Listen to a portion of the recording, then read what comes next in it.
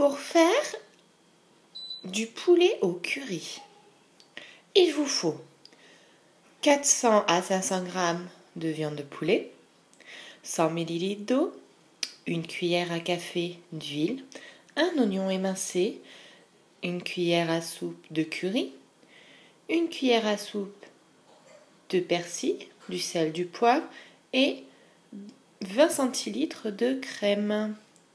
Alors moi je prends de la léger, vous pouvez prendre de la crème entière, il n'y a pas de souci. Mais de la crème liquide.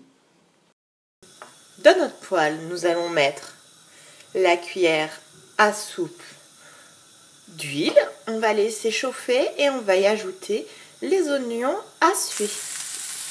Comme nos oignons ont commencé à fondre, nous allons rajouter la viande. Nous avons mis la viande, nous allons laisser cuire jusqu'à temps qu'elle soit bien dorée. Quand notre viande a commencé à dorer, nous allons rajouter directement l'eau. On va rajouter aussi le curry et on va saler poivrer.